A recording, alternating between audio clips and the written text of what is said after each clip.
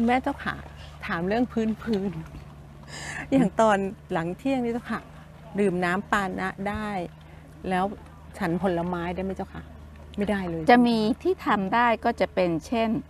เอ่อเอ่อที่มันเป็นโอสถ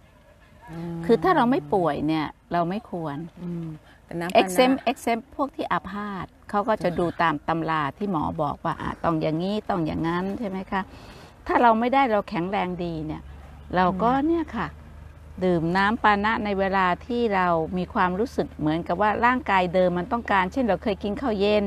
อ่าพอเราดื่มนี่ไปก่อนสักห้าโมงก็ไม่ได้ต้องการแล้วเขาก็จะมีปานะนมถั่วเหลืองอะไรพวกนี้ใช่ใช่ไหมค่ะ ก็จะเป็นแบบก็ก็จะเป็นเภสัชนั่นแหละ ก็จะเป็นเหมือน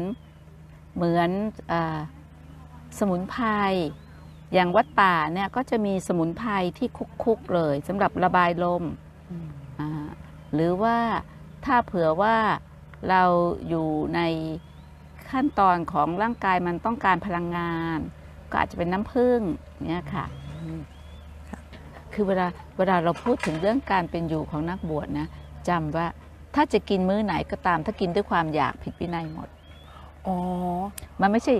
มื้อเดียวอย่างนี้มันไม่ใช่นับอย่างนั้นถ้ากินมื้อไหนแม้มื้อเดียวด้วยความอยากก็ผิดวินัยกินต้องกินแบบละความอยาก กินด้วยความหิวได้ หิวเป็นทุกขเวทนาเก่า ที่กินแล้วถ้าไม่รู้จักประมาณในการบริโภคจะมีทุกขเวทนาใหม่ เพราะอิ่มเกินไป ใช่ เพราะฉะนั้นต้องพิจารณา จะเอกาหนเดียวก็ต้องไม่เป็นไปเพื่อความอยาก จะสองครั้ง เพราะว่ามันเป็นสิ่งที่ร่างกายต้องการก็ต้องไม่เป็นไปเพื่อความอยาก อย่างกลุ่มนักบวชในฝ่ายวัชรยานเขาทำงานมากเลย แต่เขากินเจนะ ของเขาเนี่ยสามครั้งแต่เป็นสามครั้งที่ละความอยากนี่ยแล้วมันมาเอามาอวดกันไม่ได้ มันอยู่ที่ว่าแม้แต่ไม่กินเลย แล้วละความอยาก กับต้องบริโภคตามที่มันมีความทุกข์ของร่างกายในแต่ละลักษณะก็ต้องเป็นไปเพื่อละความอยาก แต่คนไทยไม่ค่อยเข้าใจเหล่านี้ มักจะ แบบมีศีลพตปรามาสมีข้อยึดติดที่เป็นแพทเทิร์นแต่ว่ามันไม่ได้เป็นไปเพื่อการพ้นทุกข์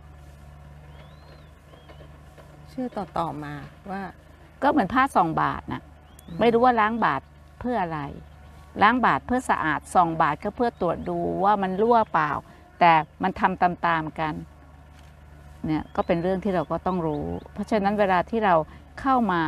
อยู่ในพระธรรมวินัยมันจะค่อย ๆ สอนเราเองว่า เราต้องละศีลพตปรามาสคือข้อปฏิบัติที่ทำตามกันมา แต่มันไม่ได้เพื่อความก้าวหน้าบางทีมันเป็นทุกข์ซ้อนทุกข์ซะด้วยซ้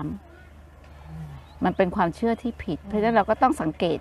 ว่าไอ้กิเลสเราตัวไหนมันโผล่ก็จับตัวนั้นนะเอาออกมาแล้วเรียนรู้ว่าเป็นไปเพื่อทำลาย ไอ้ตรงนั้นแหละเช่น มันหิว แล้วเราก็อยากกินอันนี้ไม่ได้ แต่ถ้าหิวพิจารณาว่าสิ่งที่หิวมันต้องรู้จักประมาณในการบริโภคเตรียมตัวไว้ในกรณีที่เรามีช่วงเวลาที่เราบริโภคได้เราต้องบริโภคยังไง ที่มันพอดี เพราะมันพอดีมันจะไม่หิวในมื้อต่อไป ถ้าเกินพอดีมันจะหิวในมื้อต่อไปนะ เพราะร่างกายมันเป็นอย่างนั้นนะเ